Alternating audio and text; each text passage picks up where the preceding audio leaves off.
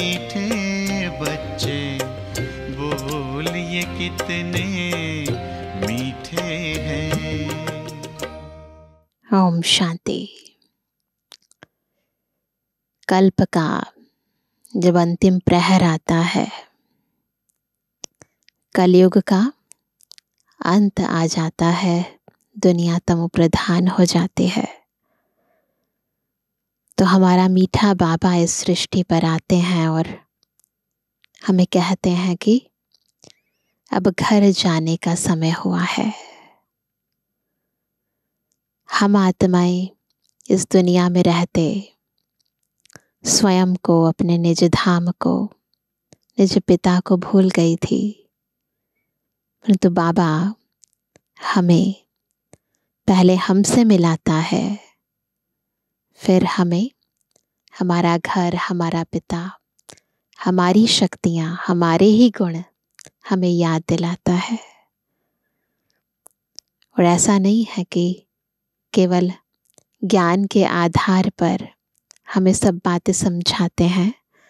अभी तो बाबा हमें योग द्वारा इतनी शक्तियाँ देते हैं, जो हम सच में अपने मन बुद्धि को बिल्कुल पवित्र, शांत और शुद्ध करके बाबा के संग परम धाम जा सकें।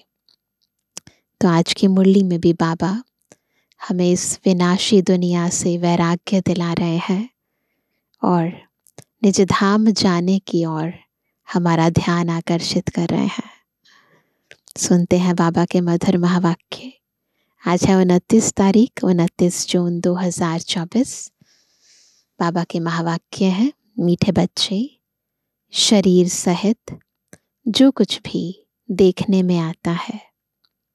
इन आँखों से, इन चर्म चक्षुओं से जो कुछ भी हम देखते हैं, यह सब विनाश होना है। तुम आत्माओं को अब घर लौटना है। इसलिए पुरानी दुनिया को भूल जाओ। हम्म? जहाँ जाना है, उसको याद करना है। जिसे छोड़ना है, उसे भूल जाना है।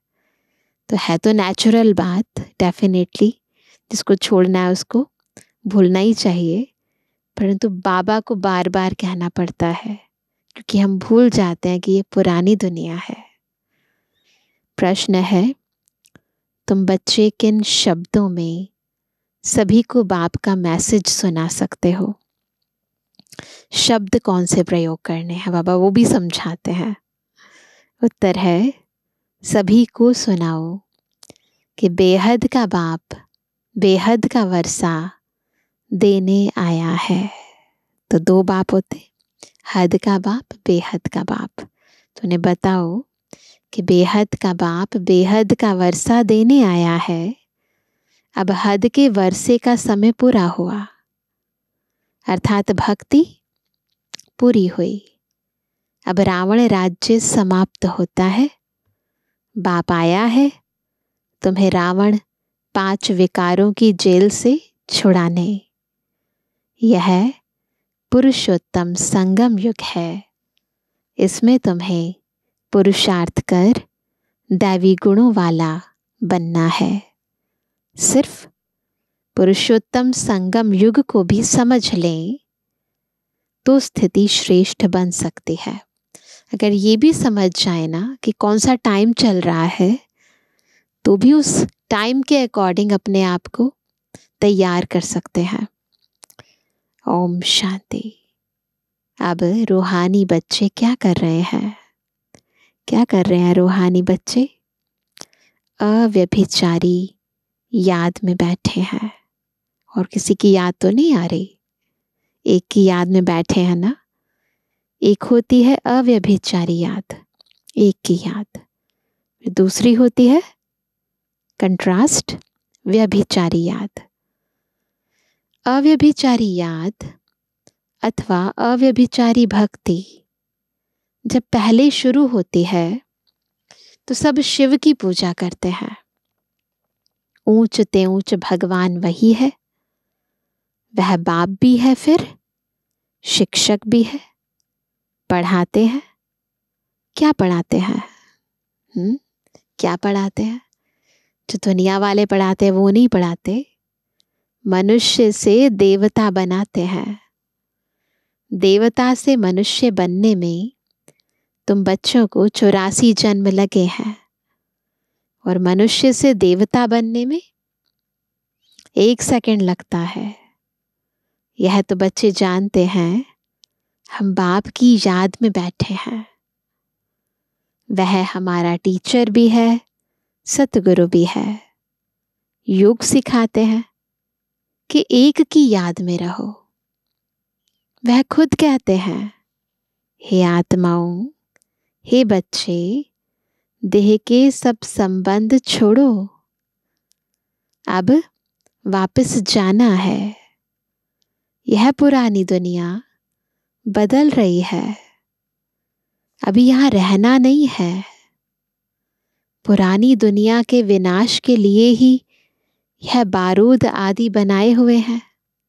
सारी तैयारियाँ हो चुकी हैं। इसे छोड़ना है है ना? इसके ख़त्म होने की सारी तैयारियाँ हैं। इसलिए बुद्धि भी अब इससे निकालनी है। नेचुरल कैलमिटीज़ भी मदद करती हैं। विनाश तो होना है ज़रूर। एकदम सब चीज़ें प्रकृति और मनुष्य आत्माएँ सब प्रिपेयर्ड हैं। बस ज़रूर होना ये सब कुछ तो। तुम पुरुषोत्तम संगम युग पर हो। संगम युग पर आ गए हैं। हमने तो अपना यहाँ से लंगर उठा लिया है पुरानी दुनिया से। बीच में आ गए हैं। ये आत्मा जानती है। हम अभी लौट रहे हैं। इसलिए बाप कहते हैं, इस पुरानी दुनिया, पुरानी देह को भी छोड़ना है। देह सहित जो भी इस दुनिया में देखने में आता है, यह सब विनाश हो जाना है। शरीर भी खत्म होना है। अब हम आत्माओं को घर लौटना है। लौटने बगैर नई दुनिया में आ नहीं सकेंगे। अब तुम पुरुषोत्तम बनने का पुरुषार्थ कर रहे हो। पुरुषोत्तम है यह देवताएँ। सबसे ऊंचते ऊंच है निराकार बाप। फिर मनुष्य सृष्टि में आओ। तो इसमें है, सबसे ऊंच कौन है? इसमें है ऊंच देवता। वह भी मनुष्य है, परंतु दैवी गुणों वाले है। तो वो भी मनुष्य, परंतु अंतर क्या है? उनमें दिव्य गुण हैं। फिर वही आसुरी गुणों वाले बनते हैं। अब फिर आसुरी गुणों से दैवी गुणों में जाना पड़े। सतयुग में जाना पड़े? किसको? तुम बच्चों को। तुम बच्चे पढ़ रहे हो, औरों को भी पढ़ाते हो। सिर्फ़ बाप का ही मैसेज देना है। बेहद का बाप, बेहद का वर्षा देने आए हैं। अब हद का वर्षा पूरा होता है। बाप ने समझाया है, पाँच विकारों रूपी रावण की जेल में सब मनुष्य हैं। सब दुख ही उठाते हैं। सूखी रोटी मिलती है। बाप आकर के सबको रावण की जेल से छुड़ाए, सदा सुखी बनाते हैं। यहाँ सूखी रोटी मिलती है और बाबा हमें सुखी बनाते हैं। बाप के सिवाय मनुष्य को देवता कोई बना ना सके। तुम यहाँ बैठे हो मनुष्य से देवता बनने के लिए। बिल्कुल तैयारी कर रहे हैं अंदर से भी और बाहर से भी। अभी है कलयुग बहुत धर्म हो गए हैं। तुम बच्चों को रचता और रचना का परिचय खुद बाप बैठ देते हैं। तुम सिर्फ़ ईश्वर परमात्मा कहते थे।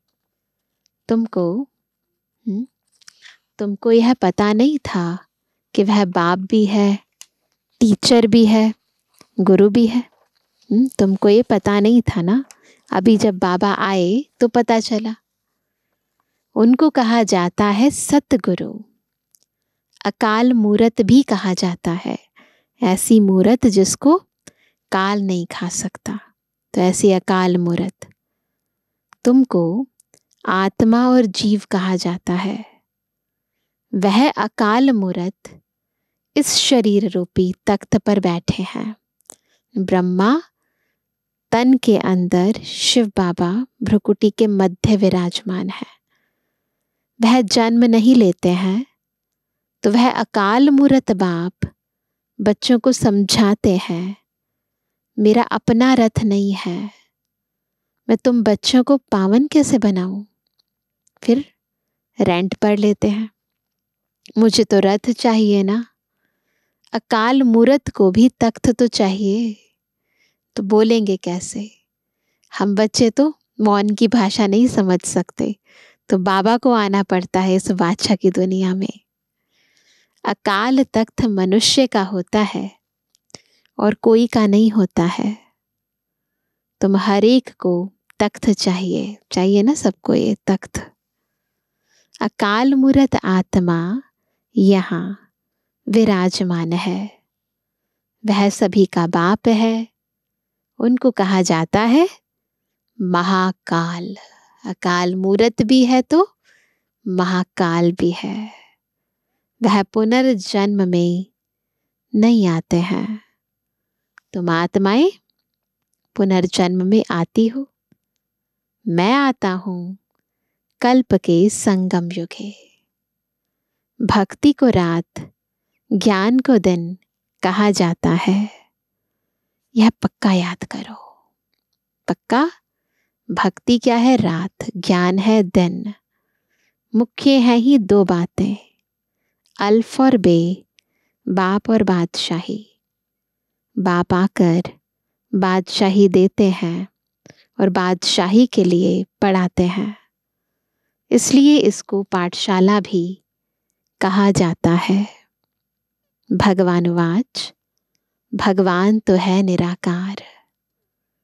उनका भी पाठ होना चाहिए। वह है ऊंच ते ऊंच भगवान, उनको सभी याद करते हैं।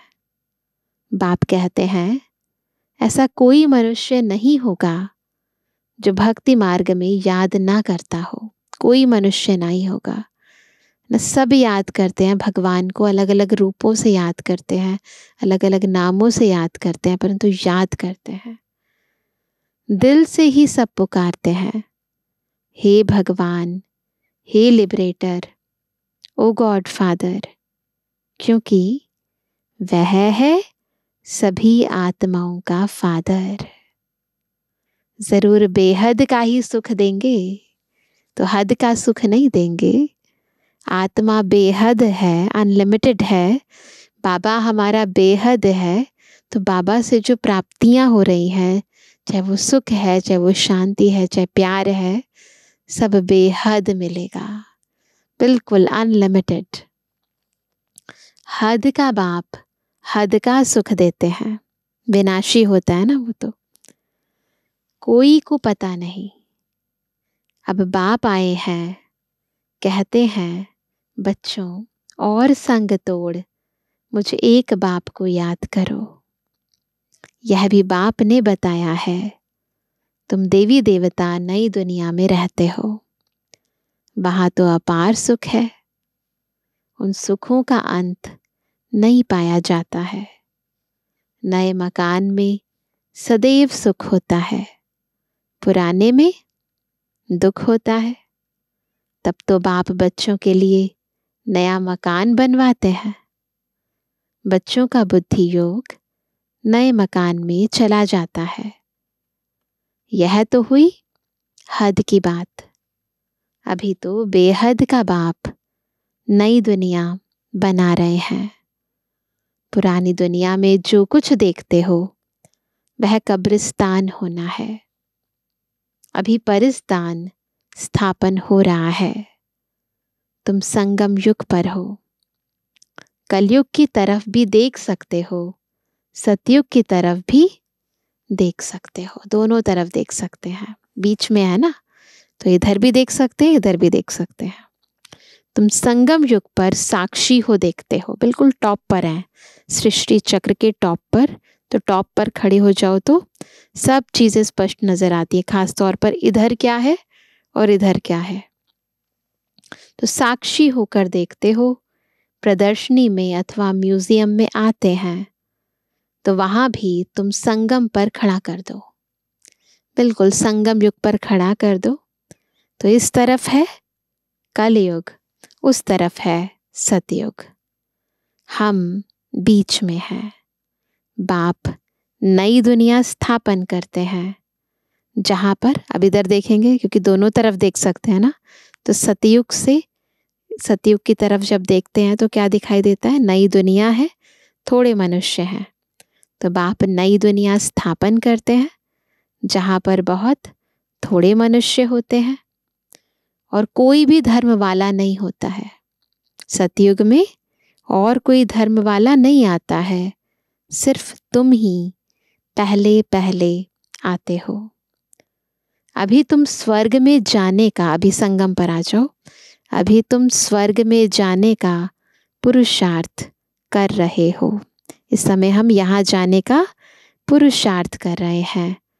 पावन बनने के लिए ही मुझे पुकारा है कि हे बाबा, हमको पावन बनाकर पावन दुनिया में ले चलो। कहाँ पुकारा था? कलयुग से हमने बहुत ज़्यादा पुकारना शुरू कर दिया था। पुकारा तो द्वापर में भी था, परंतु कलयुग में जब बहुत ज़्यादा दुखी हो गए, ज़्यादा पतित हो गए तो ज़्यादा पुकारा।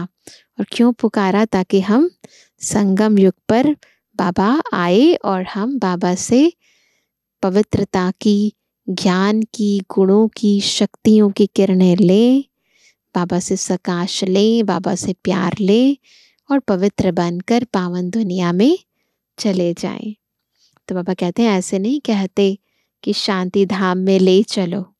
क्या कहते हैं? पावन दुनिया में ले चलो। परम धाम को कहा जाता है, स्वीट होम।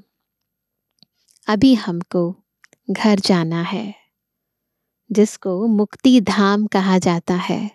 स्वीट होम भी है, परम धाम भी है, मुक्ति धाम भी है। जिसके लिए ही सन्यासी आदि शिक्षा देते हैं। किस लिए जाते हैं सन्यासियों के पास? मुक्त हो जाए, जन्म मरण के बंधनों से छूट जाए। इसके लिए ही जाते थे। वह सुखधाम का ज्ञान दे नहीं सकते। वह निवृत्ति मार्ग वाले। तुम बच्चों को समझाया गया है। कौन कौन धर्म कब कब आते हैं? हम्म? सब पता है हम बच्चों को कौन कौन से धर्म कब कब आते हैं। झाड़ में भी है गोले में भी है।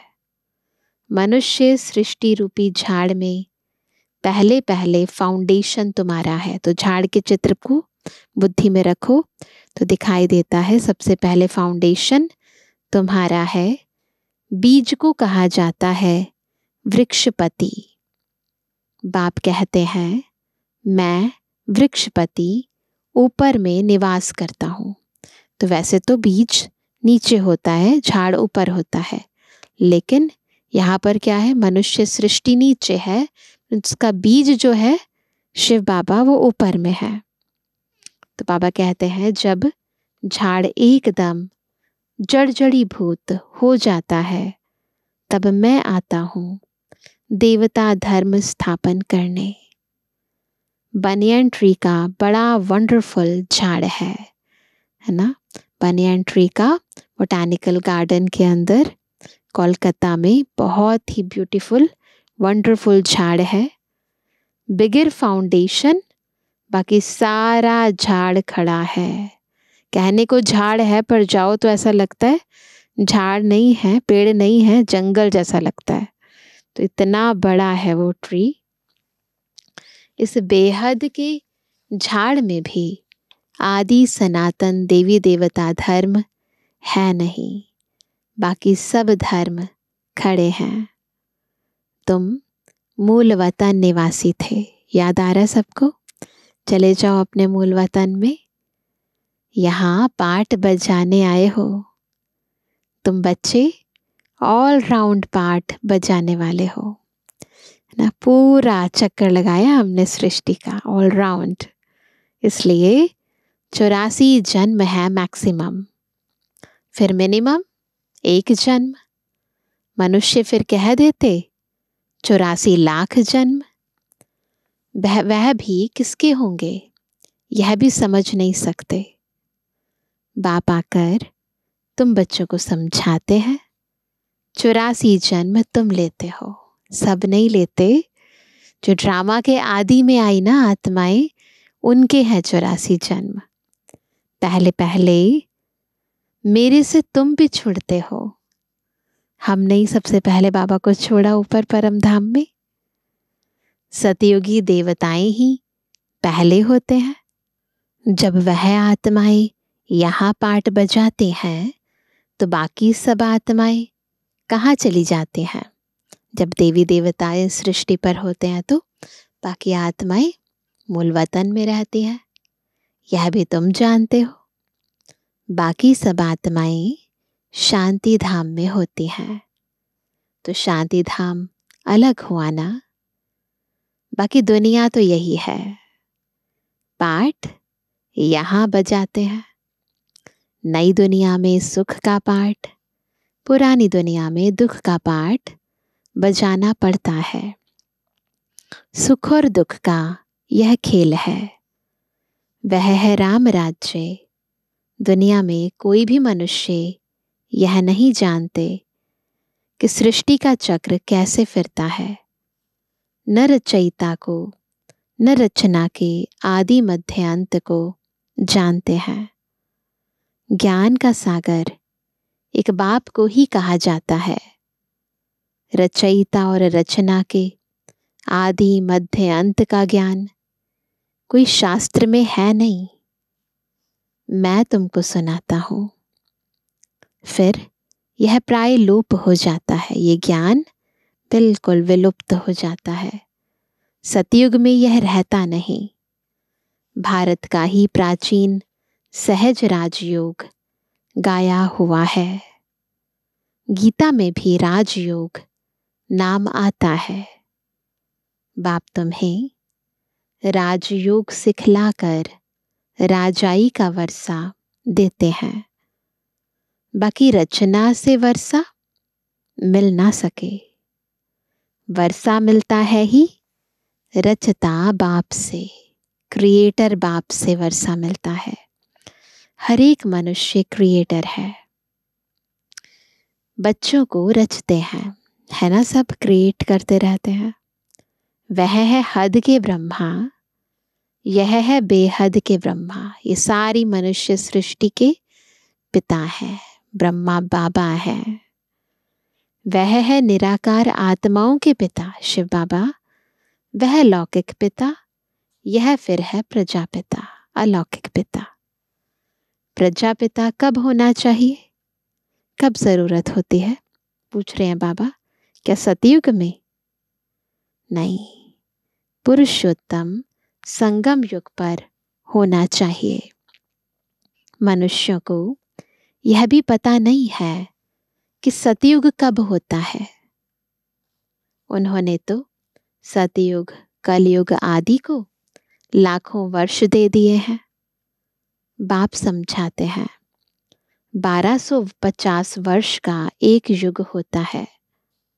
चौरासी जन्मों का भी हिसाब चाहिए ना। सीढ़ी का भी हिसाब चाहिए ना। हम कैसे उतरते हैं? पहले पहले फाउंडेशन में है देवी देवता।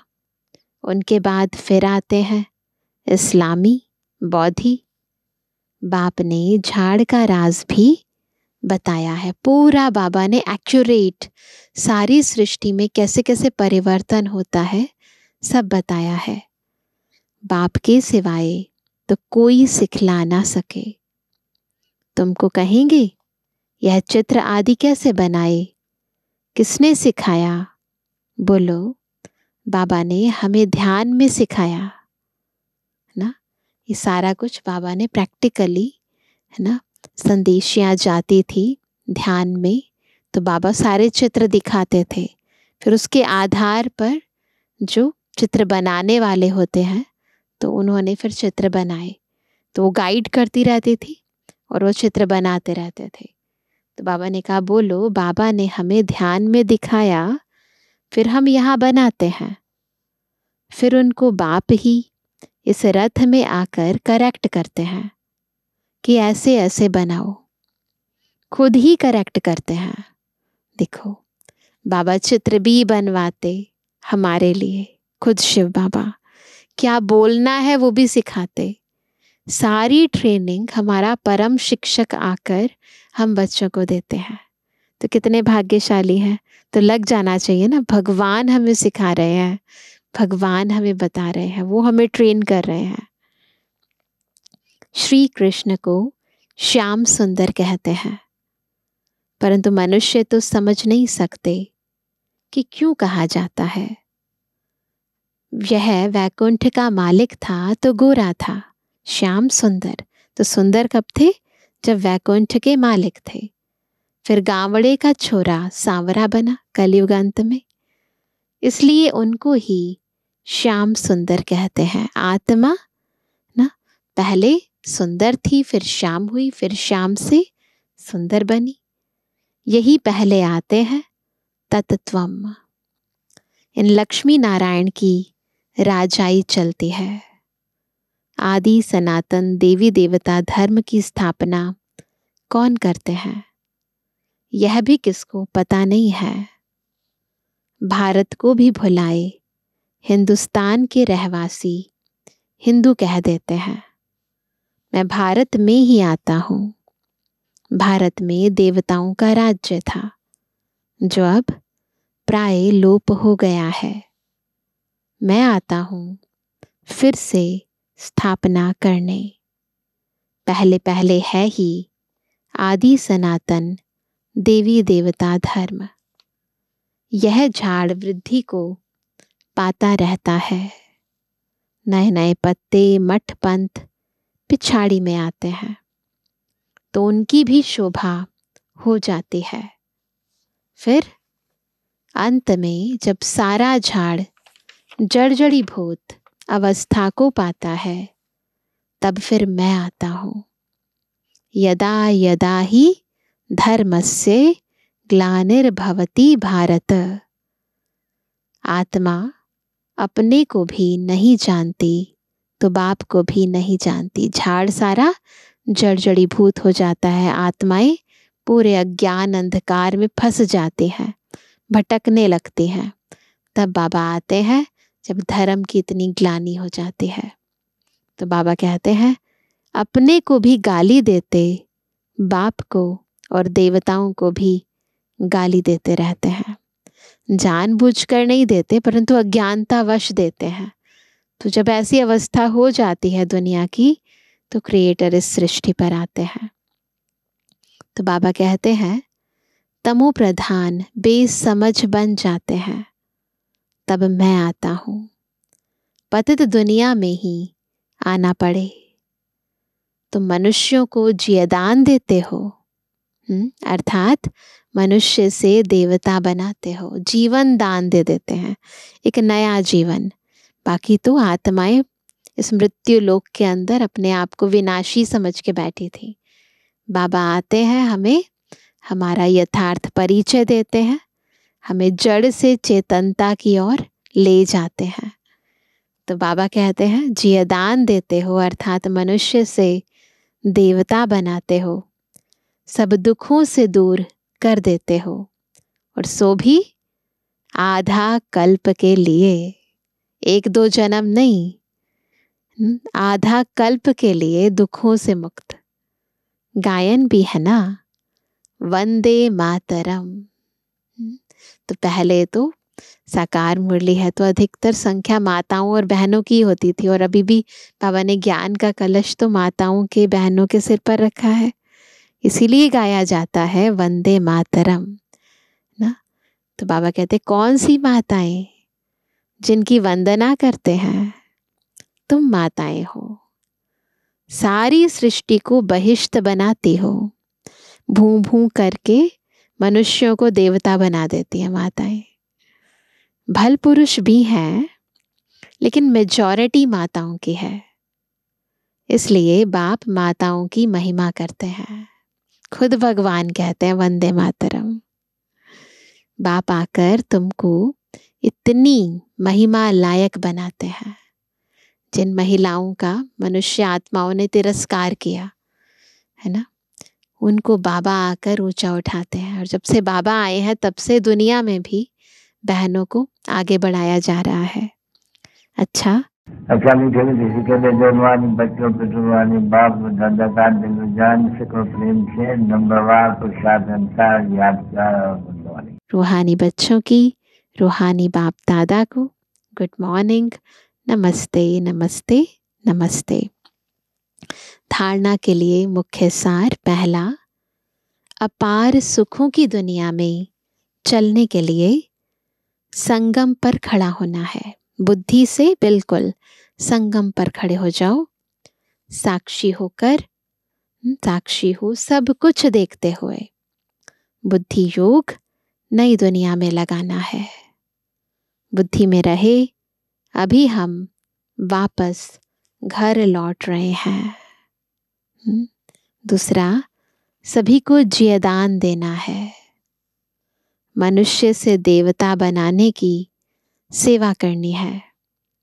बेहद के बाप से पढ़कर दूसरों को पढ़ाना है। दैवी गुण धारण करने और कराने हैं। आज का वरदान है, सदा श्रेष्ठ समय प्रमाण, श्रेष्ठ कर्म करते वाह वाह के गीत गाने वाले भाग्यवान आत्मा भव। कैसे बनेंगे भाग्यवान आत्मा? जब श्रेष्ठ समय के प्रमाण, श्रेष्ठ कर्म करते हुए वाह वाह के गीत गाएँगे। इस श्रेष्ठ समय पर, ये जो संगम का समय चल रहा है इस पर, सदा श्रेष्ठ कर्म करते, श्रेष्ठ यानी पवित्र कर्म। जो बाबा की श्रीमत प्रमाण कर्म किए जाते हैं। और ये श्रेष्ठ समय है, पवित्र समय है, संगम युग का जब बाबा आए हैं तो ऐसे में बाबा की श्रीमत प्रमाण यदि हम कर्म करते, वाह वाह के गीत मन से गाते रहो। क्या गीत गाएँगे? वहा मेरा श्रेष्ठ कर्म। या वह श्रेष्ठ कर्म सिखलाने वाले बाबा तो सदा वहा वहा के गीत गाओ। कभी गलती से भी, गलती से भी, दुख का नज़ारा देखते भी, हाय शब्द नहीं निकलना चाहिए। देख रहे हैं, कलयुग चल रहा है तो नज़ारा कई बारी अच्छा नहीं भी होता, परंतु वो सब देखते हुए भी हाय शब्द मुख से नहीं निकले। हाय ऐसे क्यों? ओहो ऐसे क्यों? ये शब्द नहीं निकले।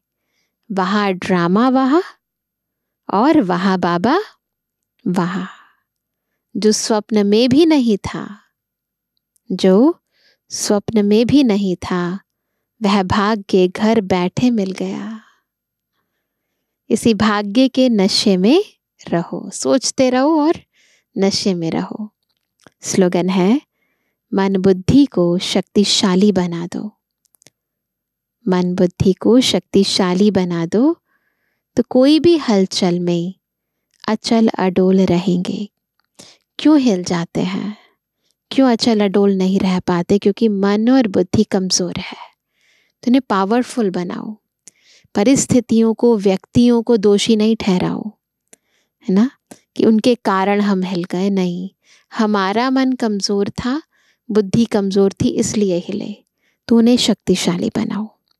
तो आज विशेष क्या पुरुषार्थ करेंगे? बार बार मन बुद्धि को संगम युग पर खड़ा कर दो। साक्षी होकर चारों ओर के दृश्यों को देखो और ये फील करो कि हमें जाना है। अब अपने घर, फिर सुखधाम में आना है। हम आगे जा रहे हैं और हमारे एक तरफ़ है कलयुग, दूसरी तरफ़ है सतयुग। हमने ये किनारा छोड़ दिया है। हमें इस और जाना है।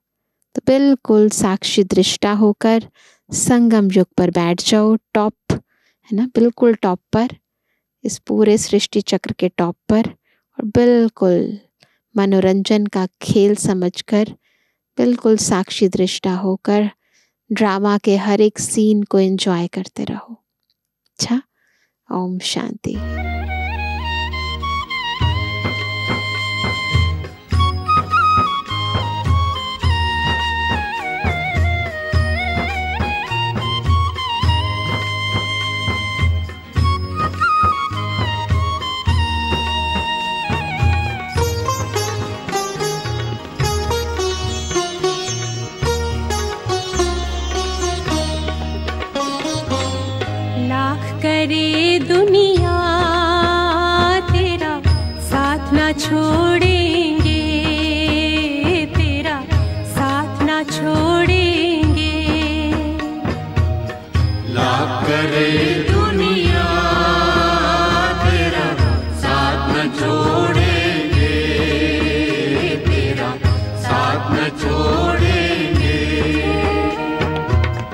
तेरा तेरा बनकर तुझसे ओ बाबा, तेरा बनकर तुझसे ओ बाबा, मुख न मोड़ेंगे, तेरा साथ न छोड़ेंगे, तेरा साथ न छोड़ेंगे।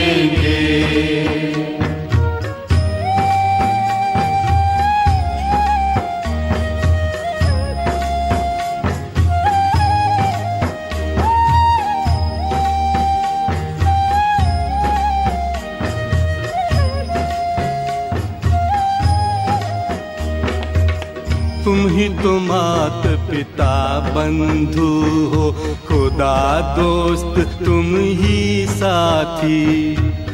तुम ही तो मात पिता बंधु हो खुदा दोस्त तुम ही साथी। तेरे संग सदा हम ऐसे जैसे दीपक में बाती।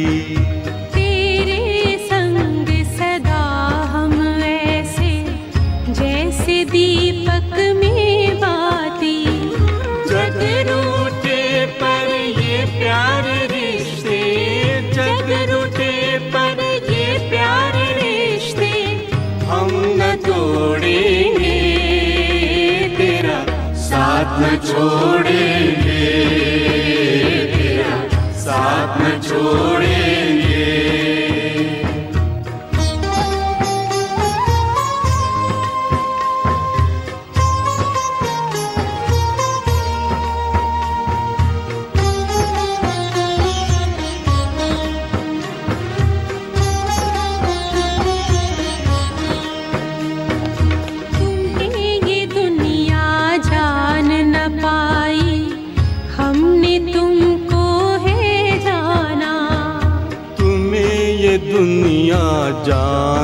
पाए हमने तुमको है जाना। तुझ में बाबा पाया हमने बेहद का परम खजाना। तुझ में बाबा पाया हमने बेहद का परम खजाना।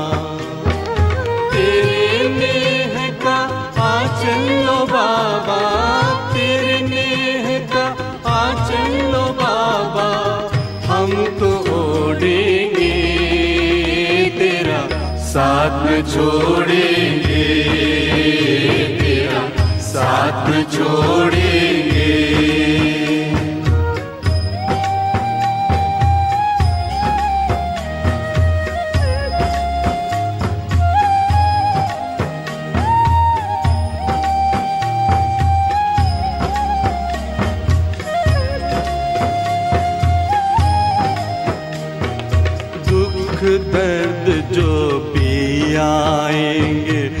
हंस हंस कर पी जाएँगे। दुख दर्द जो भी आएँगे हंस हंस कर पी जाएँगे। दूर करे जो तुमसे बाबा ऐसे